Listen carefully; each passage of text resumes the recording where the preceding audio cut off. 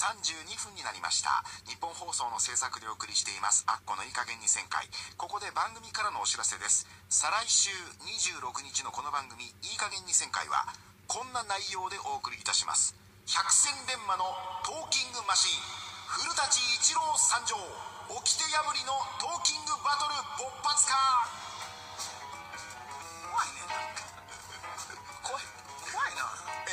送で毎月1回金曜日の「オールナイトニッポンゴールド」を担当されている古舘一郎さんがですねはい。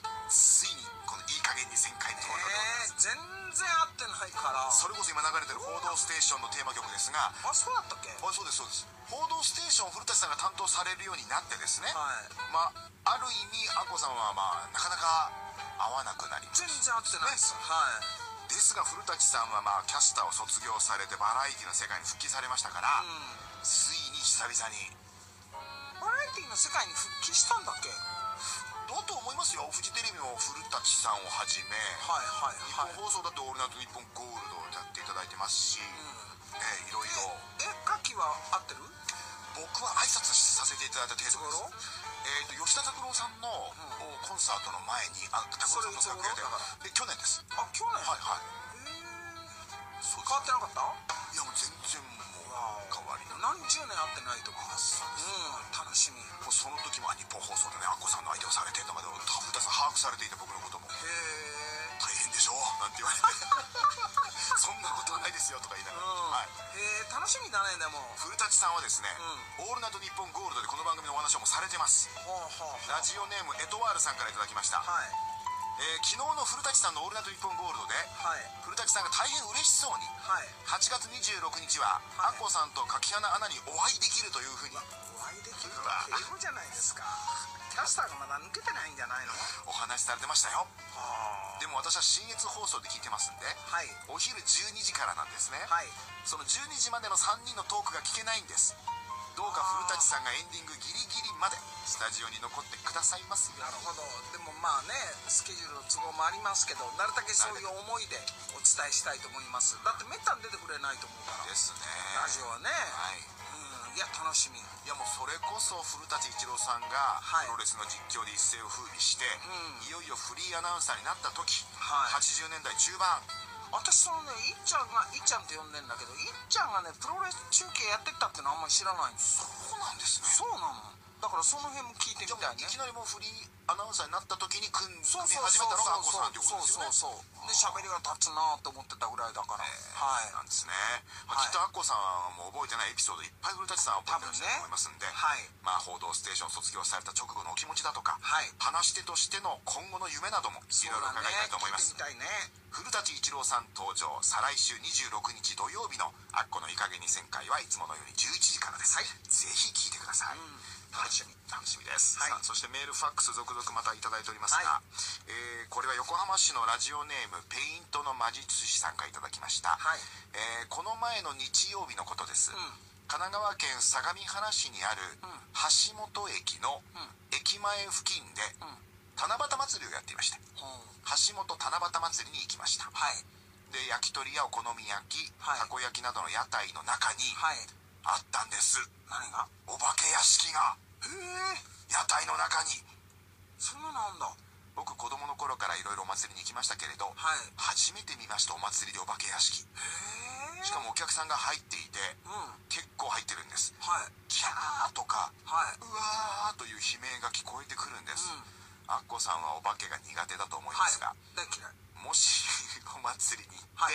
お化け屋敷があったらはい。入りますか、入らないねそんなの。はい。素通りにするの決まってんじゃないですか。私その富士急ハイランドだっけ？はい。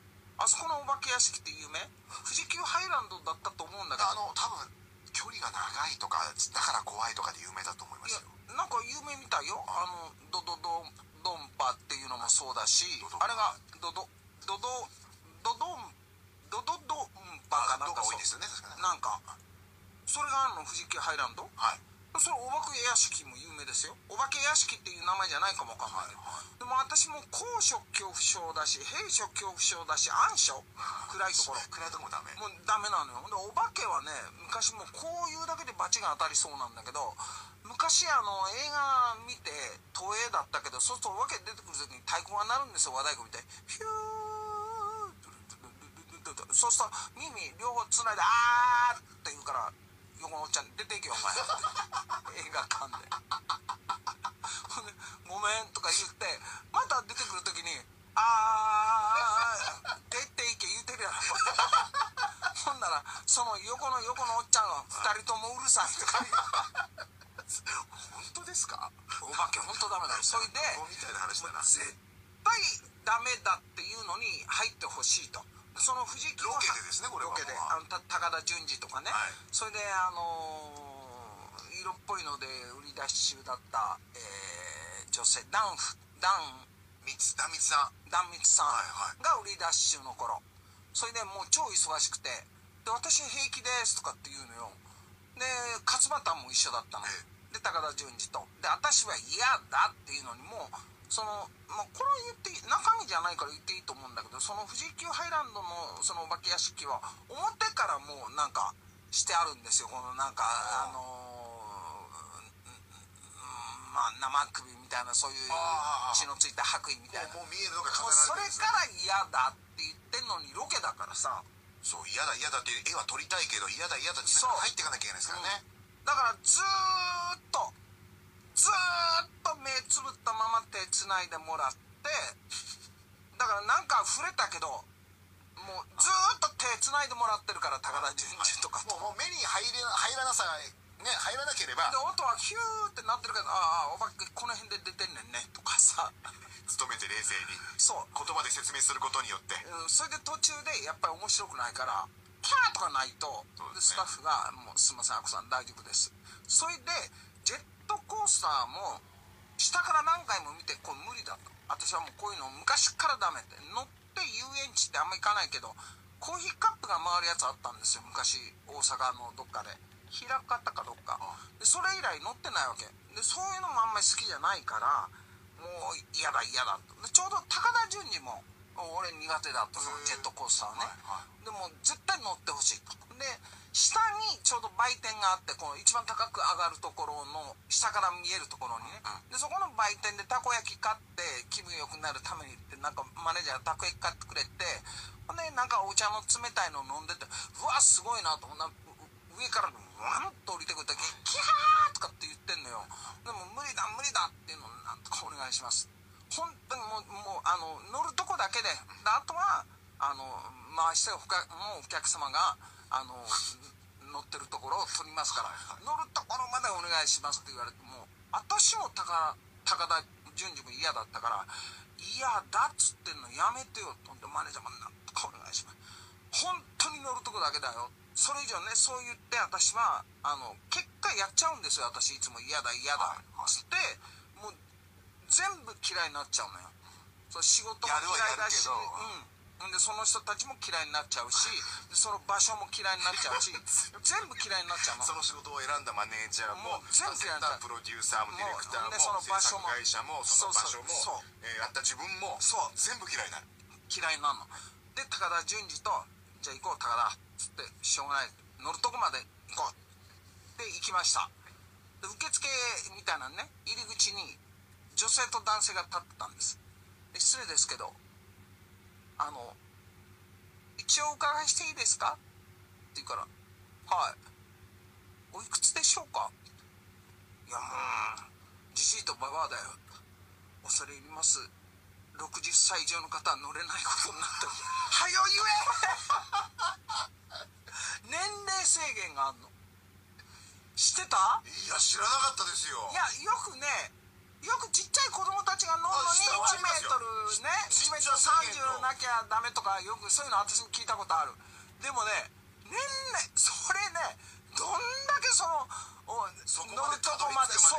どんだけ揉めたか。そうたこ焼き食べて焼きそば食べてこれ履いたらどうすんねんまで話して。あれこれ考えて。考えてもう必死で知マらん。ネージャーだって機嫌を取るためにまあたこ焼き選んだわけですから。いやいやもうもう知らんでとかって言いながら言ったら60歳以上はダメなんですって。知ってた？それ。知らなかっためっちゃおもろいやろこれ。ほんまやね事実。事実やねん。ももう笑ったそやからすっごい覚えてんねん。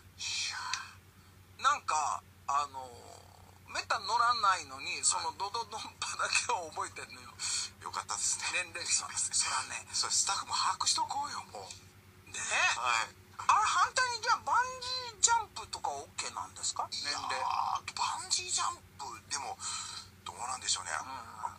よるかもしれませんけど、あんまりなんか70代とかの方がバンジージャンプやるってイメージないですけどね。だからまあそれは終わるだね。私は乗らないです。なるほど。ちょっと話長なったけどペイントの魔術師さんはお化け屋敷さん。はい、写真ね、はい。あと今アコさんが言ったですね富士急のお化け屋敷はですねモーモーモーさんが教えてくださいました、はい。えー戦慄迷宮という名あ前なんかそんなん。はい。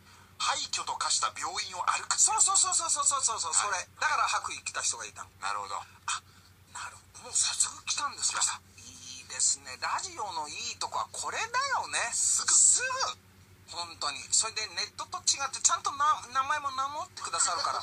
俺言えるもんね。ありがとうございます。うちまたあのお褒めか教えてくれるのしか読まないから。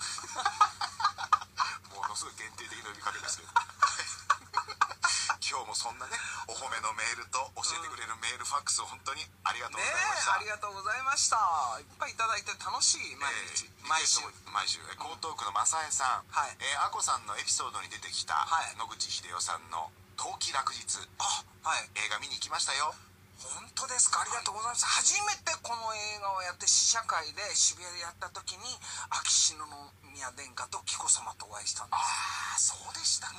緊張しまくって映画見てられないんだもん。終わって超特急で地下の楽屋行ってタバコ吸いましたよそういうことは覚えてますね、はい。えーまああの教科書で教わった野口英世のイメージと違っていたことをよく覚えていました、ああやっぱりね、主題歌をぜひ聴かせてくださいというああ懐かしいです。ありがとうございます。それではリクエストにお答えします、はい。アッコさんで「愛届きますか」